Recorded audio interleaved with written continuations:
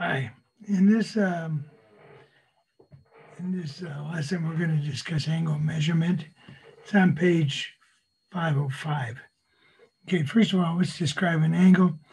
Um, an angle is formed when we have two rays. A ray is a line that's going, has a definite beginning, but it's going on forever in another direction. When these two rays come together at a common point called the vertex, we form a angle. An angle is measured counterclockwise, going this way. If the bottom line is called the initial side, and the top is the terminal side. So we have an initial and a terminal, and the angle is going that way. And we can define this angle, we can call it uh, different things we'll get into in just a second. But we measure this angle, the amount of degrees in here, by using uh, a protractor. And uh, let's say this is 30 degrees. So we can measure that out by using a protractor. We're not going to use a protractor in here, but that's how normally an angle is measured. The other thing is uh, uh, let's look at the different kinds of angles and we'll talk about them a little bit.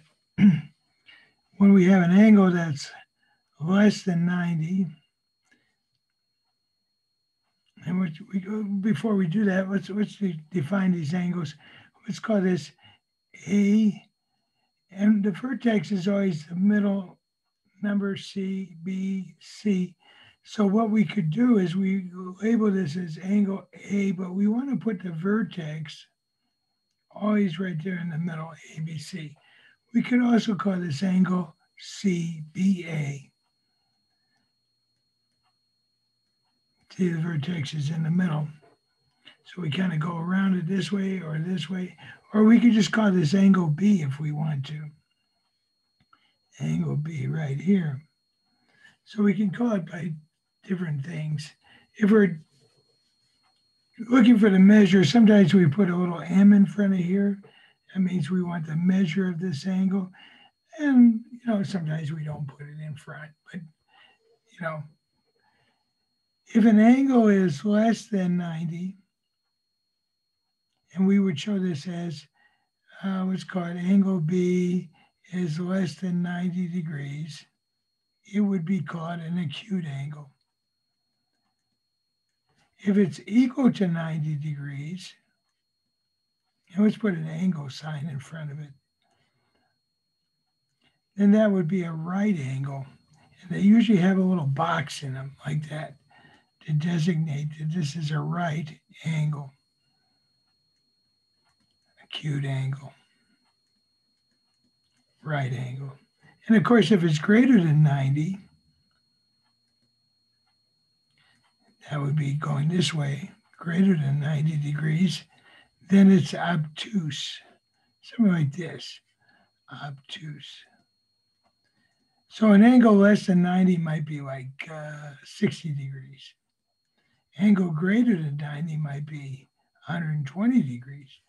And then if the angle, and you might not have ever thought about this, is exactly straight 180 degrees, that's called a straight angle.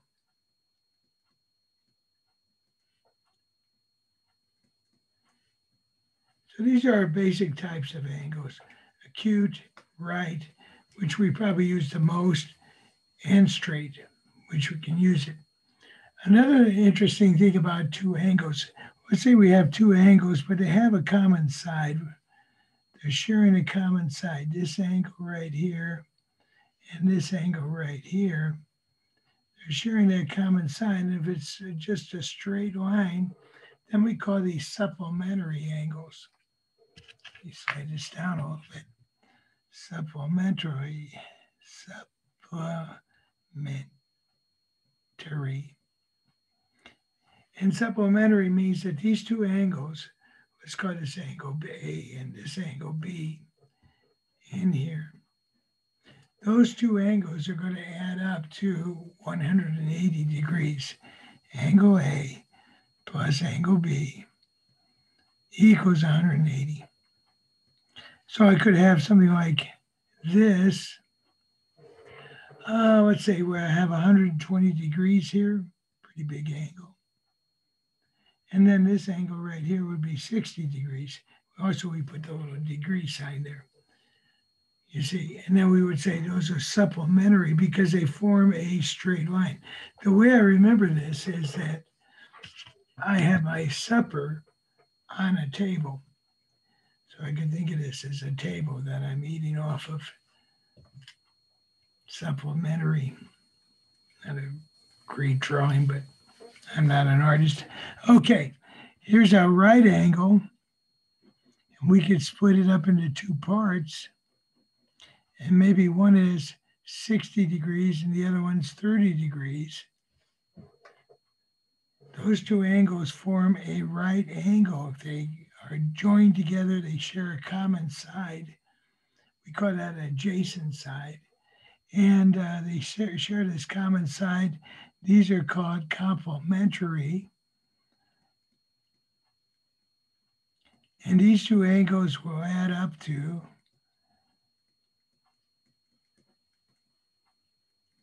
what do you think?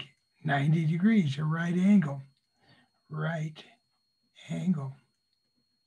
So these uh, will add up to 90 degrees. So supple, and the way I remember it, the right thing to do is to pay somebody a compliment. The right thing you can do is pay somebody a compliment. So if we look at these angles in the book, right here, I can tell this is an acute angle, less than 90, acute obtuse, right angle. I'm assuming it's a right angle. Straight angle. Here's one that's kind of drawn a little weird, but it, it looks like it's going to be less than 90. So that would be an acute angle. And of course, we don't have a device to measure them right now, but we can kind of tell. So we kind of know about those. Also, when two angle, right angle is sometimes called a perpendicular angle if it, if this is at a straight up and down from this, then we say it's perpendicular to the base or bottom. This line is perpendicular to this base line. Okay. Um, so we kind of know a couple little things. One other thing that comes in very handy about angles, let's put it right here, is that when angles kind of cross each other like that. These are called vertical angles.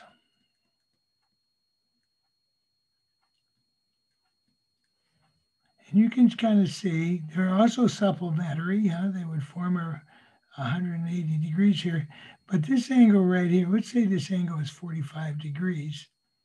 Then this angle is also going to be 45 degrees they kind of form a V and uh, a V and an upside down V, and those are vertical angles. They're going to be equal. Angle A will equal angle B, whatever it is. Let's, let's change it to 65 degrees. Then this will be 65 degrees. They're going to be equal. This angle right here, because they are supplementary, these two angles would have to add up to 180. So if I took 180 and I subtracted 65 from it, borrow a little bit here, that would give me 115. 115 and 65 add up to 180. So this angle would have to be 115, and this angle is vertical to it, so it'd be 115. And you can see 65 and a 115 180, 180, 180, 180. If you add all these angles together, you're going to get a circle. And a circle has 360 degrees in it. So all these angles should add up to 360 because they form, you know, here's 180, here's 180, 360. So if you add all those angles together, you get 360, kind of circular.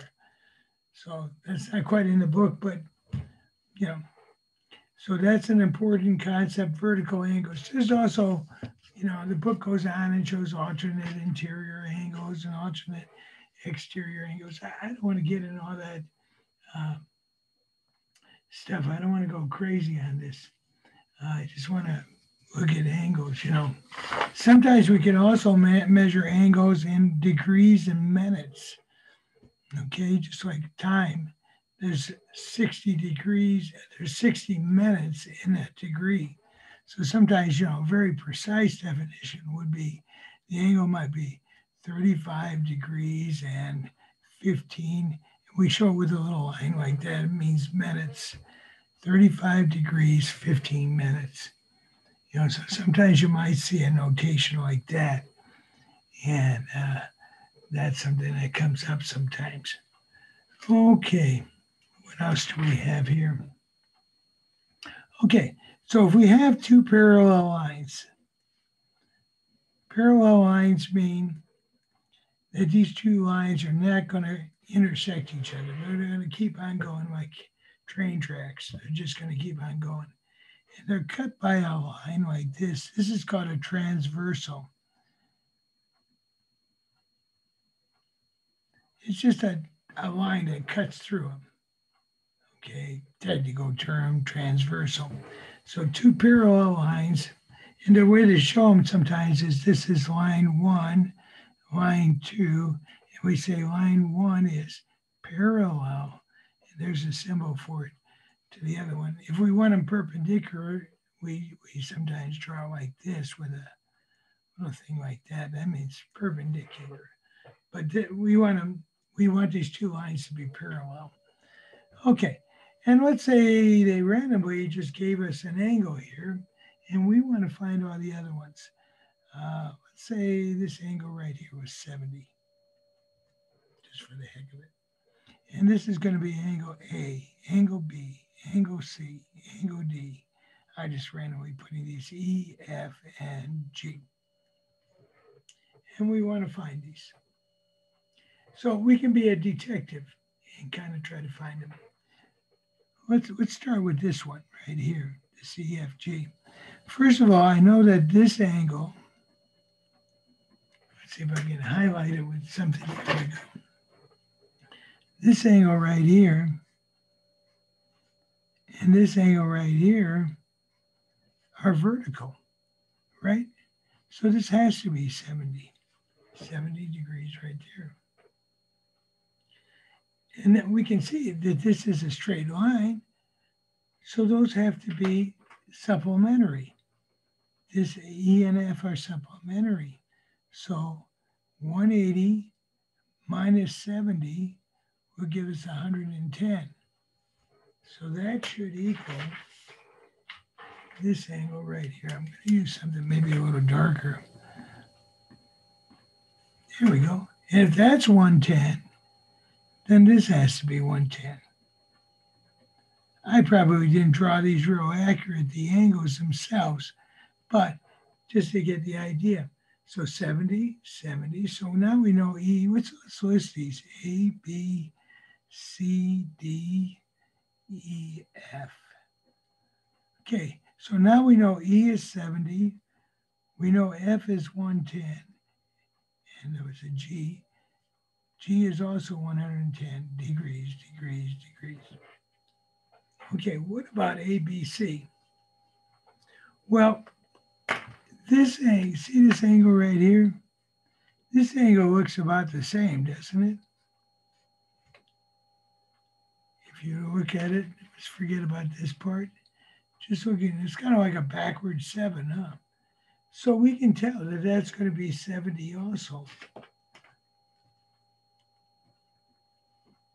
And if that's 70, this has to be 70. And this has to be 70 from 180, 110, and this has to be 110. So now we know A is 110, B is 70, C is 70, and D is 110. So we can find those missing angles. So we can play a little game there, you know. You can just try to match them up.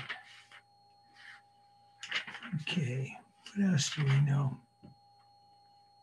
Well, let's see if there's something else we need to know. If we have a triangle,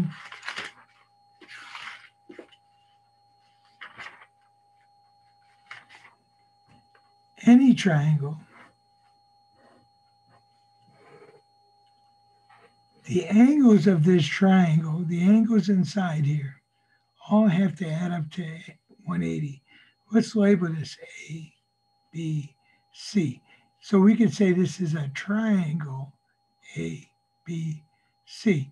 But the angles have to equal 180 degrees. So if this was, say, 70, and this was 30, 70 and 30 is 100, this would have to be 80. These angles all have to add up to 180 degrees.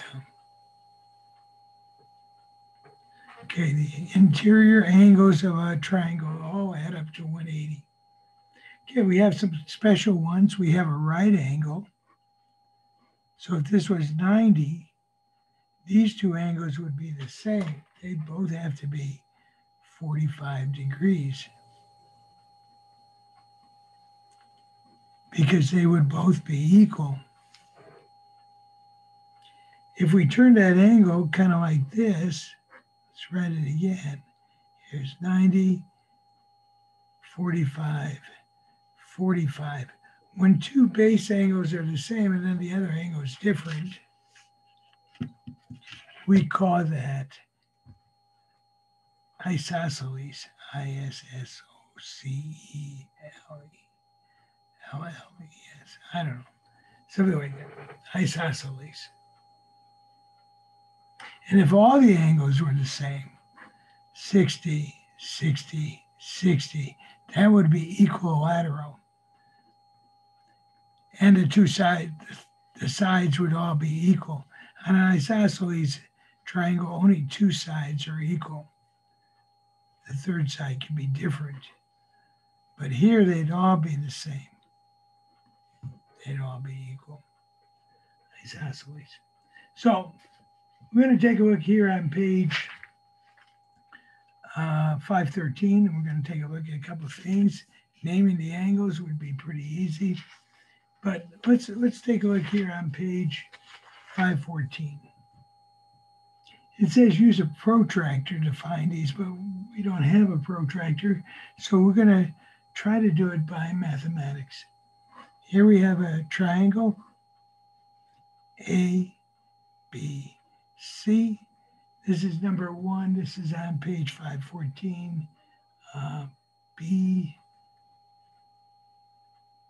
section B. And then this is problem number 2A, 1 or 2A. Uh, this is 60, and this right here is 52. And so I want to find what is angle A. I could do it by measuring if it was drawn accurate, but let's try it this way. Let's add B and C together.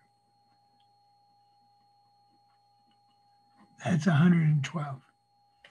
And then what we're going to do is we're going to take that sum and subtract it from 180. We could get all fancy about it. I'll write it out in a minute. And you could use your calculator, 8. This comes to 7 and a 10, 68. You can add these together and double check it. So this angle right here has to be 68 degrees for them to add up to 180. 180. So uh, let me uh, show you how I could write this real formal. formal uh, angle A plus angle B plus angle C equals 180. Angle A plus 60 plus 52 equals 180. Add those together. Plus, and then subtract that from both sides. You know, so we could get very formal about doing this, but just common sense tells us that these angles and you want to show the degree sign. It's 68. Well, that's all there is to it. What about this one? This is uh, E.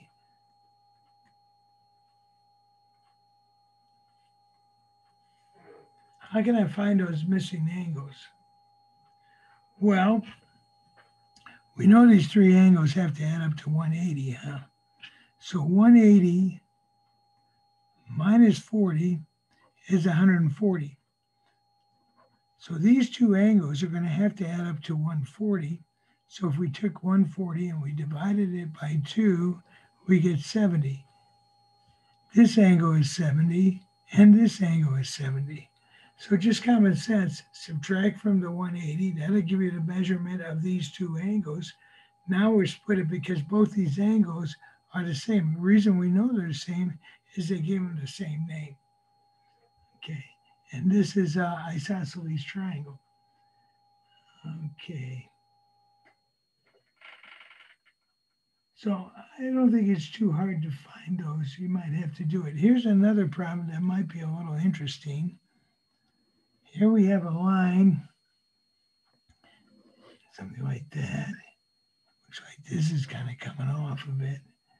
This is Q, this is W, this is 60 degrees, this is 150 degrees, and this is P.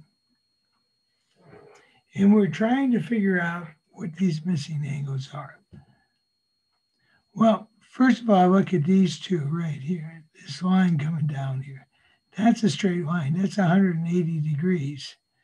These two angles, if I was, let me turn my paper a little bit this way and I might visualize it a better. This angle and this angle have to add up to what? 180. So 180 minus 150 is 30. We know this is a 30 degree angle, see? 30 plus 150. It's a little bit harder to visualize it that way, huh? And what do you see about this right here?